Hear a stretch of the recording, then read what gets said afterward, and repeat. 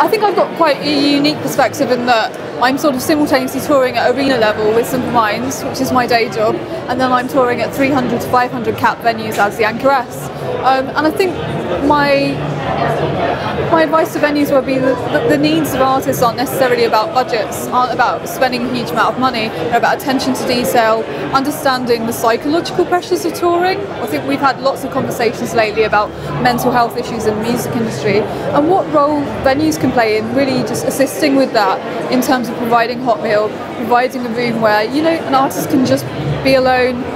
chill out before a performance, have somewhere that's a bit of a sanctuary from all the travelling that they're doing. Um, having a conversation with artists, certainly as they're kind of developing at, at, a younger age, about you know maybe drinking every night on tour isn't such a great idea. What can we do to provide uh, access to healthier lifestyles on tour, really?